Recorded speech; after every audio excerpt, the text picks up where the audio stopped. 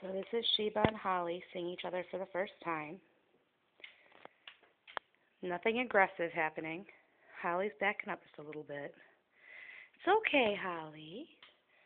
Sheba seems to have no interest at all other than to stare at her. Come here, Holly. Holly. Honey, don't be scared. Holly, it's okay. Oh. I think she'll come around.